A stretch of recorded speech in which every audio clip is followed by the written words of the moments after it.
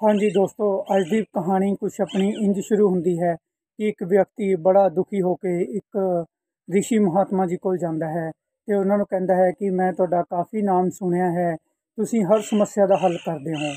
ਤਾਂ ਰਿਸ਼ੀ ਜੀ ਕਹਿੰਦੇ, ਹਾਂ, ਦੱਸੋ ਕੀ ਸਮੱਸਿਆ ਹੈ? ਆਪਾਂ ਕਰ ਦਿੰਦੇ ਹਾਂ ਤੁਹਾਡਾ ਹੁਣੀ ਹੱਲ।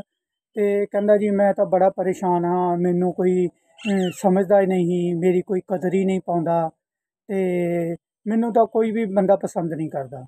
ਤੇ ਉਹ ਕਹਿੰਦੇ ਇਹ 'ਚ ਕਿੱਡੀ ਕੁ ਵੱਡੀ ਗੱਲ ਹੈ। ਕਹਿੰਦੇ ਚਲ ਠੀਕ ਹੈ। ਕਹਿੰਦੇ ਹਰ ਇੱਕ ਵਿਅਕਤੀ ਦੇ ਨਾਲ ਹੀ ਹੁੰਦਾ ਹੈ। ਕਹਿੰਦੇ ਲੈ ਫੜ, ਤੂੰ ਆਹ ਇੱਕ ਮੈਂ ਤੈਨੂੰ ਪੱਥਰ ਦਿੰਦਾ ਹਾਂ, ਤੂੰ ਇਸ ਦਾ ਮੁੱਲ ਪਵਾ ਕੇ ਲੈ ਕੇ ਆ। ਦੇਖਦੇ ਹਾਂ ਵੀ ਕੌਣ ਕੌਣ ਇਸ ਦਾ ਕੀ ਕੀ ਮੁੱਲ ਪਾਉਂਦਾ ਹੈ। ਪਰ ਇੱਕ ਖਾਸ ਗੱਲ ਇਹ ਖਿਆਲ ਰੱਖੀ ਕਿ ਇਸ ਨੂੰ ਕਿਸੇ ਕੋਲ ਵੇਚੀ ਨਾ।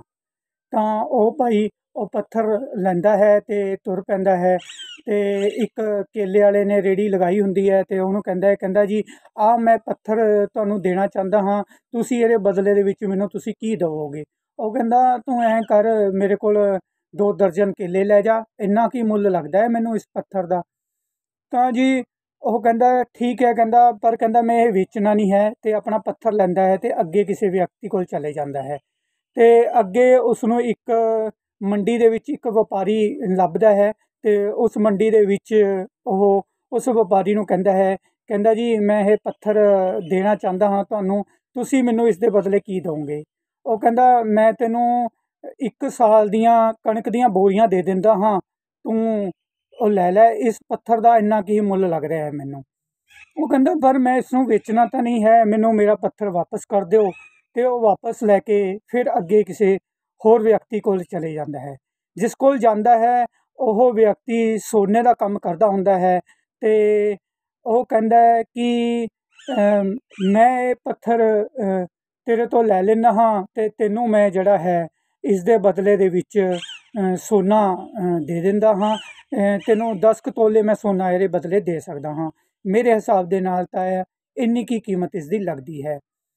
ਫਿਰ ਉਹ ਇੱਕ ਹੋਰ ਮਤਲਬ ਕਿ ਜਿਹੜਾ ਹੀਰਿਆਂ ਦਾ ਵਪਾਰ ਕਰਦਾ ਹੈ, ਉਹਦੇ ਕੋਲ ਚਲੇ ਜਾਂਦਾ ਹੈ।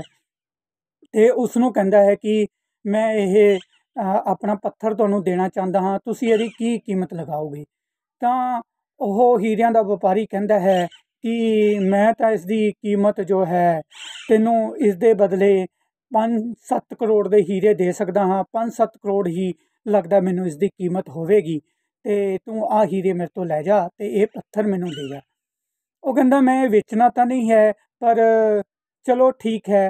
ਤੇ ਭਾਈ ਉਹ ਆਪਣਾ ਉਸ ਪੱਥਰ ਨੂੰ ਲੈਂਦਾ ਹੈ ਤੇ ਅੱਗੇ ਕਿਸੇ ਅਜਿਹੇ ਵਿਅਕਤੀ ਕੋਲ ਚਲੇ ਜਾਂਦਾ ਹੈ ਜੋ ਕਿ ਇਹੋ ਜਿਹੀਆਂ ਚੀਜ਼ਾਂ ਦਾ ਕਦਰਦਾਨ ਹੁੰਦਾ ਹੈ ਤੇ ਉਸ ਨੂੰ ਪੁੱਛਦਾ ਹੈ ਕਿ ਕਹਿੰਦਾ ਜੀ, ਤੁਸੀਂ ਇਸ ਦੀ ਕੀ ਕੀਮਤ ਆਂਕੋਗੇ ਤਾਂ ਉਹ ਕਹਿੰਦਾ ਕਿ ਇਹ ਜੋ ਪੱਥਰ ਹੈ, ਕਹਿੰਦਾ ਇਹ ਤਾਂ ਬੇਸ਼ੁਮਾਰ ਪੱਥਰ ਹੈ, ਕੋਈ ਵੀ ਹੀਰਾ ਜਵਾਹਰਾਤ ਇਸ ਦੀ ਕੀਮਤ ਨਹੀਂ ਆਂਕ ਸਕਦਾ। ਇਸ ਕਰਕੇ ਇਹ ਤਾਂ ਬੇਸ਼ੁਮਾਰ ਕੀਮਤੀ ਪੱਥਰ ਹੈ। ਤਾਂ ਜੀ ਉਹ ਕਹਿੰਦਾ, ਚਲੋ ਠੀਕ ਹੈ। ਕਹਿੰਦਾ ਕਹਿੰਦਾ, ਮੈਂ ਤਾਂ ਕਹਿੰਦਾ ਵੈਸੇ ਵੇਚਣਾ ਨਹੀਂ ਸੀ। ਤੇ ਉਹ ਜੀ ਆ ਕੇ ਮਹਾਤਮਾ ਜੀ ਕੋਲ ਦੁਬਾਰਾ ਆ ਜਾਂਦਾ ਹੈ ਤੇ ਉਹਨਾਂ ਨੂੰ ਕਹਿੰਦਾ ਹੈ, ਕਹਿੰਦਾ, ਮੈਂ ਜਾ ਆਇਆ ਜੀ।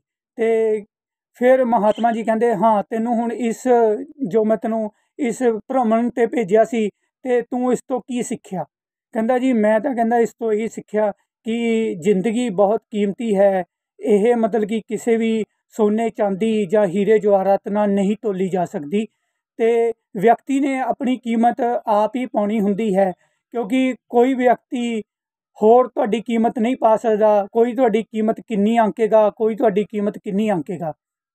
ਜੇ ਕੋਈ ਤੁਹਾਨੂੰ ਜ਼ਿੰਦਗੀ ਦੇ ਵਿੱਚ ਜੋਹਰੀ ਮਿਲ ਗਿਆ, ਵਧੀਆ, ਤਾਂ ਫਿਰ ਉਹ ਤੁਹਾਡੀ ਕੀਮਤ ਬਹੁਤ ਜ਼ਿਆਦਾ ਵੀ ਆਂਕ ਸਕਦਾ ਹੈ। ਇਸ ਕਰਕੇ ਮਿੱਤਰੋ ਘਬਰਾਓ ਨਾ, ਜੇ ਤੁਹਾਡੀ ਜ਼ਿੰਦਗੀ ਦੇ ਵਿੱਚ ਤੁਹਾਡੀ ਕਦੀ ਕਿਸੇ ਨੇ ਕੀਮਤ ਨਹੀਂ ਪਾਈ, ਤਾਂ ਕੋਈ ਨਾ ਕੋਈ ਤੁਹਾਡੀ ਜ਼ਿੰਦਗੀ ਦੇ ਵਿੱਚ ਕੀਮਤ ਪਾਉਣ ਵਾਲਾ ਜ਼ਰੂਰ ਆਵੇਗਾ। ਖੁਸ਼ ਰਹੋ, ਆਬਾਦ ਰਹੋ। ਧੰਨਵਾਦ।